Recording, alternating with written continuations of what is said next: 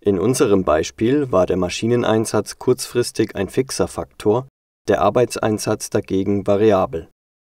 Betrachten wir zunächst einen kleinen Betrieb mit der Maschinenausstattung M1.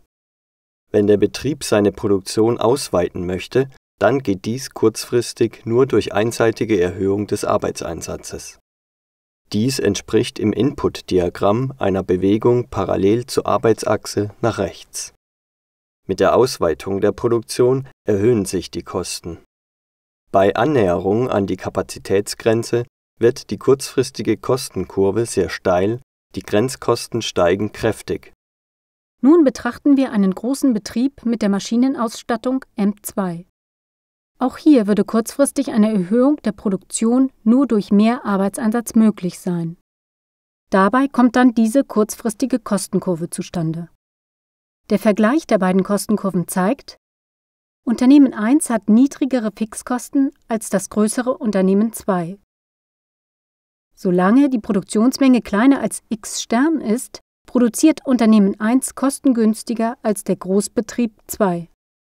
Wenn nur diese beiden Betriebsgrößen als Alternativen betrachtet werden, kann man durch entsprechenden Wechsel der Maschinenkapazitäten die Kosten niedrig halten die Mindestkosten, mit denen produziert werden kann, folgen damit dem gemeinsam gebildeten unteren Rand der beiden kurzfristigen Kurven.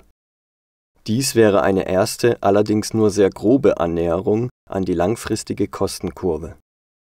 Denn für jede Maschinenausstattung existiert nur eine Minimalkostenkombination.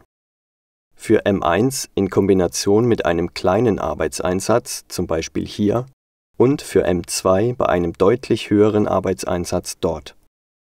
Wird der Expansionspfad vollständig bestimmt, erhält man die exakte langfristige Kostenkurve. Nur die zu den Minimalkostenkombinationen gehörigen Punkte liegen auf der langfristigen Kostenfunktion. Es zeigt sich, die kurzfristigen Kostenkurven berühren die langfristige Kostenkurve genau an der Stelle, wo Minimalkostenkombinationen realisiert wurden.